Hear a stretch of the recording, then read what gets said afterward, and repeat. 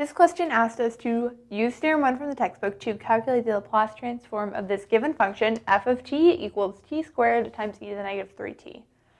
And I've got theorem 1 written up here.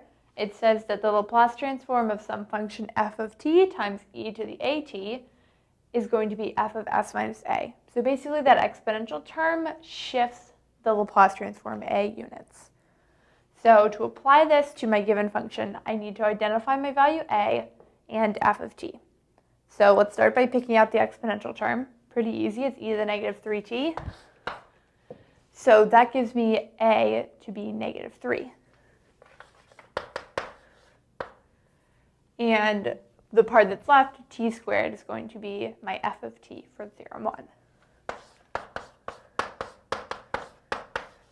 So I want to take the Laplace transform of t squared and then shift it three units to the left. So let's think about the Laplace transform of t to some integer power n.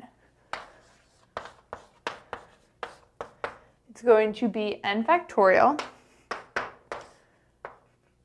over s to the n plus 1.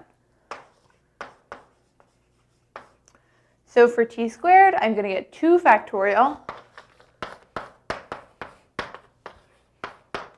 which is just 2, over s to the 2 plus 1, s cubed. And now I want to go ahead and shift that 3 units to the left. So I'm going to swap my s for an s plus 3.